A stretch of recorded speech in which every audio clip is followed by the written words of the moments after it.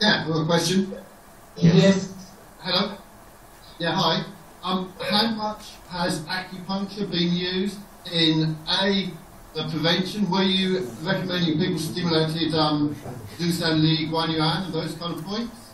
And how much was it used in the actual treatment protocols of the patients you've seen? 刚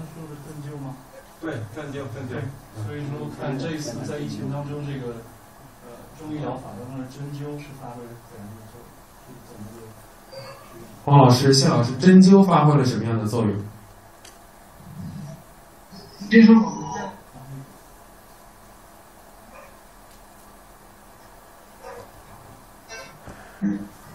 算了，那个让让在座的好，我们在座的老师大家回答一下吧。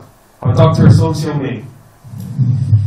呃，针灸发挥的作用，我觉得跟你跟这个我们这个中医内科这个中药发挥作用应该是一样的。我们采取中针灸治疗的时候啊，也要采取中医的这个辨证论治的原则啊，来备学啊不同的手法来治疗。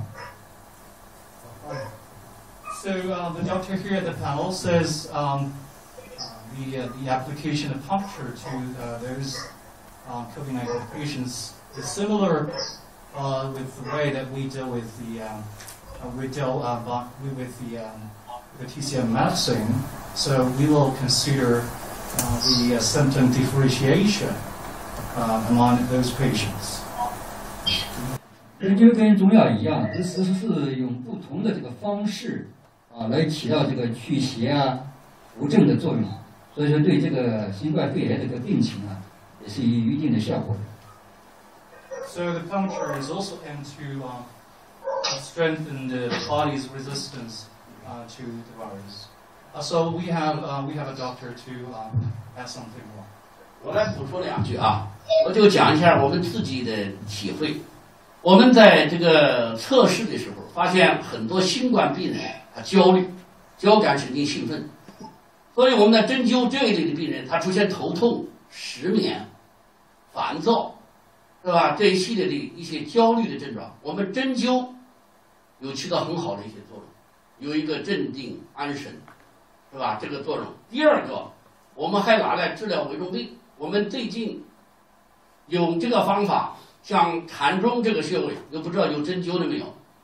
我们拿来就是呼吸机，减少呼吸机的待机时间，有些穴位。第二个，解决他呼吸机脱机困难，所以发挥了很多作用。这个作用也是在我们十几年的工作基础上所运用到这次新冠肺炎，因为呼吸机的使用也比较多。我只举就举两个例子而已。谢谢你。